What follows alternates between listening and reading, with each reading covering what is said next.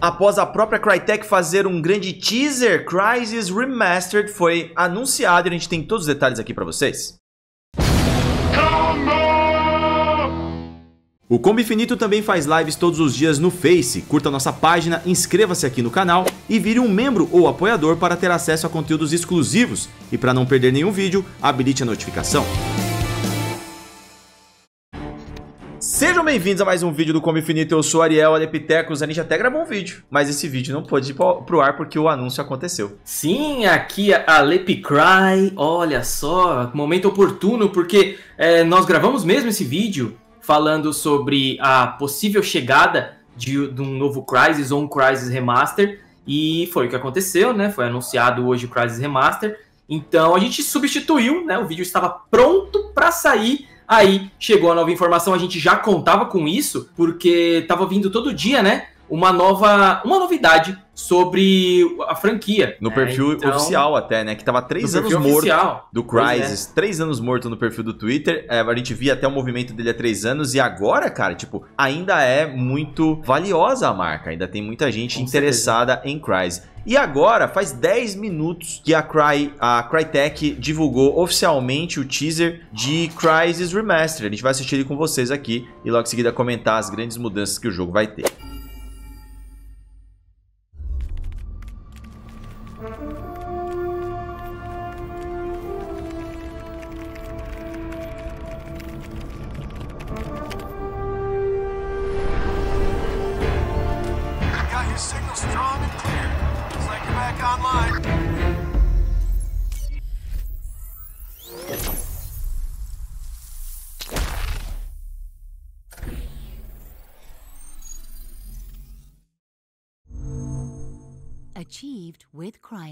Vocês acabaram de ver aqui um teaser muito rápido, né? Por isso que é um teaser de como pode ser aí o Crysis Remastered, já, já com visual aí, já que podemos até entender que pode ser do jogo final, lembrando que o Crysis original é de 2007, mesmo sendo de 2007, o jogo é muito bonito até para os padrões de hoje, eles vão fazer algumas mudanças até para adequar o jogo dentro da CryEngine, que na época já existia, mas era a primeira versão, porque o time do Crysis, que é a Crytek, eles antes eram desenvolvedores do Far Cry. O Far Cry foi o primeiro foi totalmente desenvolvido pela Crytek enquanto eles eram uma parte da Ubi. Aí eles Cry saíram não da pode Ubi. faltar no nome, né? Cry não pode, exatamente. Eu acho que eles aproveitaram o nome justamente para poder pegar o bonde, né? E eu lembro que na época, quando o Crysis saiu, todo mundo dizia que seria o verdadeiro Far Cry e tudo mais. Aí o Far Cry foi para um canto diferente e o Crytek, o, o Crysis acabou se tornando meio que o Far Cry o inicial, o primeiro, seria se tivesse uma sequência, né? Então eles vão adequar o que era o Crysis para essa nova engine da CryEngine que vocês vão ver até passando aqui enquanto a gente comenta mais ou menos o que ela pode fazer, né, Leptex? Sim, com certeza. Então a gente vai trazer aqui uma fala, uma declaração que eu acho que é muito interessante para a galera que que tá, né, meio ligada e tá curtindo essa ideia do Crysis Remaster, né? O, ele diz assim: Crysis Remaster apresenta novas funcionalidades gráficas, texturas de alta qualidade e o hardware CryEngine nativo, juntamente com solução Ray Tracing, API agnóstica para PC, PlayStation, Xbox e pela primeira vez Nintendo Switch. Foi uma surpresa para você, Ariel, o anúncio para o Nintendo Switch? Olha, é, para mim é uma surpresa sim, embora o Switch esteja fazendo milagre com jogos de hoje em dia, né? O jogo uhum. é de 2007, porém ele sendo refeito dentro da ou convertido dentro da CryEngine, que vocês estão vendo agora que ela consegue fazer um visual muito legal, pesa menos. O grande problema da CryEngine quando ela nasceu é que ela era muito pesada, ela era para poucos. Agora a CryEngine ela tá rodando bem aí em vários tipos de equipamentos, inclusive eles têm outros jogos rodando nela como Hunt Showdown, que vocês acabaram vendo passando aí agora há pouco. Eles têm um jogo também de tiro meio meio Call of Duty, meio, meio CS, que eu acho que é Warframe, Warface, o nome do game, que ele também é mais leve, mas é muito bonito. Então o Switch, que roda Doom, deve ter como rodar um Crysis de 2017, de 2007 com um visual refeito dentro da CryEngine. E o Switch merece, viu, cara? O Switch tá cada dia mais com jogos multiplataforma chegando para ele, né, Lê? Eu particularmente gostei muito dessa informação, não das, do Switch apenas, né, mas do fato de existir um Crysis Remastered, porque eu não joguei na época, né? Eu não tinha. Sim, não isso vai ser a oportunidade, de muita gente. Sim, eu não tive a oportunidade de jogar, mas eu via o mundo se movimentando e principalmente você que a gente tava bem próximo ainda, né? Mas você falando que era uma referência gráfica e tudo mais, e, na, e quando a gente era bem mais novo, as evoluções gráficas eram muito mais evidentes, né? É verdade. E, e, a, e a, a Crytek, Crysis, enfim, deram um salto muito grande, né? Então isso era um padrão, era uma referência para ser buscada. Né? E hoje vendo isso acontecer, o jogo, tô com muita vontade de jogar, inclusive, acho que vai ser bem interessante ter essa experiência. Eu tô até com vontade de revisitar o primeiro Crysis em live para ver como ele roda hoje em questão visual e depois a gente poder comparar com a nova versão. Agora, vocês estão vendo ao fundo é, essa imagem meio de uma floresta e tudo mais? Esse é exatamente o, o cenário do Crysis. Então a gente vai ver mais ou menos esse visual na nova versão na remasterização. O jogo eu tenho certeza que vai ser muito bonito. Ele vai alcançar uma galera que não jogou Crysis, como o Leptex falou, e ao mesmo tempo vai setar de novo uma grande oportunidade da Crytek trazer a franquia de volta. Eu é, é, chutava que a ideia deles era continuar.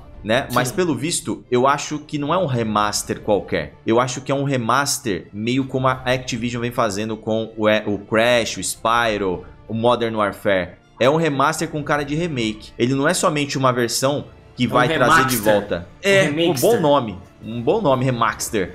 E eles vão trazer o jogo muito mais bem feito do que seria um remaster. O remaster é pegar o mesmo jogo e converter para as plataformas atuais. É, eles vão claro que você refazer. precisa de otimização, você tem que melhorar as texturas. Às vezes a remasterização é muito mais trabalhosa do que a gente imagina. Né? Ah, mas geralmente ela, ela é gira fácil, em torno de resolução, né?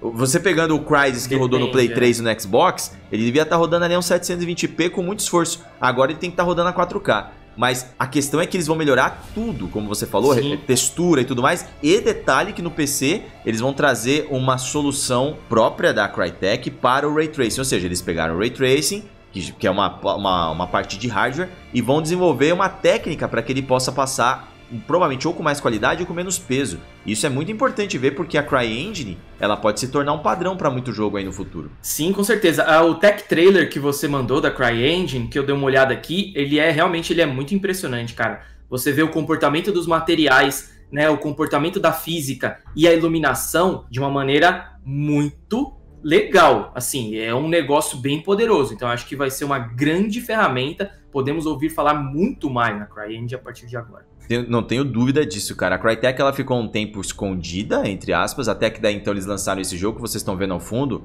que embora vocês não estejam vendo o jogo em si, vocês estão vendo a, a tech demo dele, que é o Hunt Showdown, ele hoje é a melhor maneira de vocês poderem perceber o que é que a Crytek está querendo fazer. Primeiro, eles estão tentando pisar de volta no jogo single player. Segundo, eles estão pisando no mundo do multiplayer, que é o caso do Hunt Showdown, que é um jogaço, galera. Eu já fiz live desse jogo, há bastante tempo, mas tem lá no nosso Face, vocês podem buscar, talvez até deixe algum dos links aqui. É um jogo divertidaço. E sim, todo o resto que eles fazem com o game, como vocês estão vendo agora, que eles mostram outros tipos de locais que a CryEngine pode trabalhar, pode fazer com que essa engine possa ser uma opção no futuro para muitos estúdios. E eu não duvido, cara, que é, eles vão fazer milagre com o Ray Tracing. O Ray Tracing vai ser um dos grandes pontos de virada da nova geração. Com certeza, mas agora a gente quer saber de vocês o que, que vocês acharam do novo Cry, do novo Crysis, eu ia falar do, novo, novo Crytek. Novo Crysis, o que, que vocês acharam? Curtiram a ideia da remasterização? Preferiam uma sequência, de repente, podemos ver aí. Deixa aí o seu recado sempre na paz dos nossos queridos apoiadores Silvio Leonardi, Gustavo Luiz Bentarra e Diego Champoski. E você que tá aí, um abraço até o próximo vídeo do Como Infinito e nos diga aí qual é a tua plataforma onde você vai jogar o novo Crysis Remastered. Valeu!